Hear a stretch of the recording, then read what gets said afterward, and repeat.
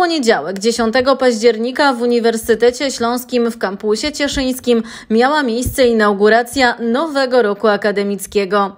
Przybyłych gości oraz studentów przywitał prodziekan Wydziału Sztuki i Nauk o Edukacji, doktor habilitowany Bogusław Dziadzia. Z doświadczenia teraz powiem w imieniu wszystkich wykładowców Uniwersytetu, że człowiek, który już bardzo poważnie myśli o swoim życiu, realizuje różnego rodzaju pasje w trakcie studiów, staje się o wiele pełniejszym człowiekiem w momencie dostania dyplomu, aniżeli wtedy, kiedy tylko czeka na to, żeby ten dyplom dopiero otworzył mu jakiekolwiek.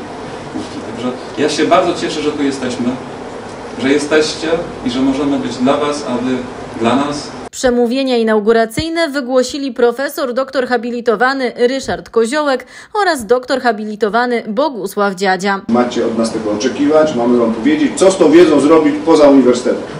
Ona nie służy temu wyłącznie, żeby zdać egzamin, ona nie służy temu, żeby dostać papiery y, w postaci dyplomu, ona służy do tego, żebyście lepiej żyli. Począwszy od tego, żebyście lepiej żyli zawodowo, czyli znaleźli pracę, która będzie dla Was satysfakcjonująca, będzie e, zarówno od strony ekonomicznej, jak i od strony spełnienia swoich pasji marzeń, ale ona ma sprawić, że będziecie lepiej żyli jako członkowie społeczności, w której, e, w której zamieszkujecie i B, i ma być lepiej z Wami tym, którzy są Waszymi współobywatelami, sąsiadami, współmieszkańcami. Taka jest rola wiedzy. Najbardziej uroczystym i doniosłym elementem obchodów inauguracyjnych była immatrykulacja nowo przyjętych studentów i ceremonia złożenia przez nich ślubowania akademickiego. Dla portalu Śląska Cieszyńskiego XPL Marta Szymik.